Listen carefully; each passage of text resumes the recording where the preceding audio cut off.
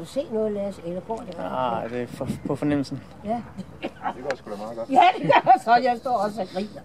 Jeg har meget god fornemmelse med Ja. gode Lasse. Og der er vi i gang igen.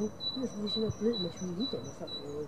Det er ikke sådan noget, altså jeg vil sige, det var nogle kasser, der har været æble i, og de er jo skralder, du sagde. Ja. Det er ikke sådan noget.